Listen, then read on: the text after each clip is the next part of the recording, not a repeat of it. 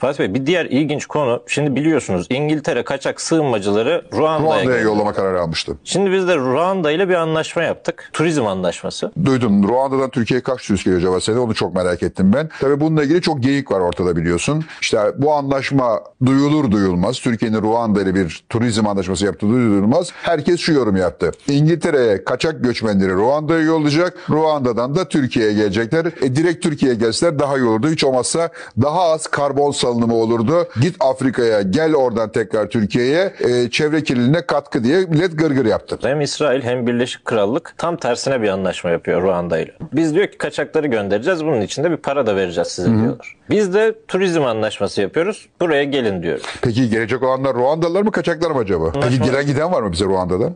Pazar günü 5 uçak geliyormuş. Direkt Ruanda'dan. Evet.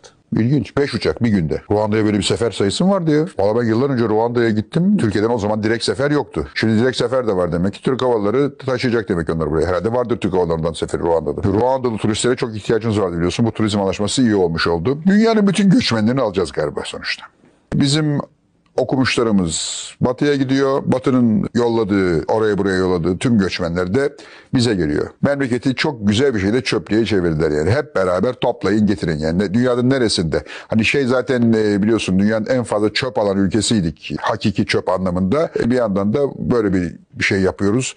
Bravo. Yani hakikaten çok korkutucu bir şey. Ondan sonra niye vize alamıyoruz? Bak ödüllü çok önemli bilim adamımız. Yurt dışında ismi lazım değil Avrupa ülkelerinin bir tanesinde bir üniversitenin daveti üzerine o üniversite çalışmaya başlıyor. Ve bu bilim adamımız Türkiye'nin en yüksek düzeyde ödüller almış. Avrupa'da, dünya çapında yani Nobel'in bir altı diyeceğim düzeyde ödüller almış bilim adamımız. Üniversite ki benim annem var bakmak zorunda olduğum yanımda yaşayan çok yaşlı ancak onun da gelebilirsi şey, gelebilirim diyor. Üniversite tamam sorun değil anneniz de gelsin biz hallederiz diyorlar. Ödüllü bilim adamımızın annesine Avrupa ülkesi vize vermiyor. Oturma izni falan değil ya vize. Vize vermiyor. Vatandaşlarımız vize kapılarında sürünüyor. Türkiye'nin duayen turizmcilerinden Hüseyin Baraner.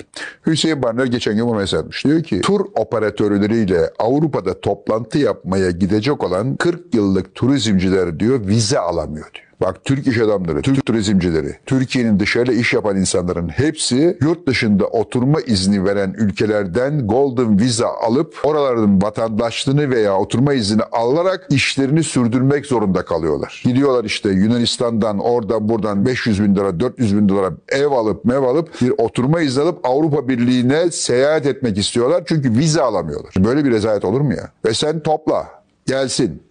Yani biz iktidardan düşsek de Türkiye'ye kötülük yapmaya devam edelimin şeyi bu yani.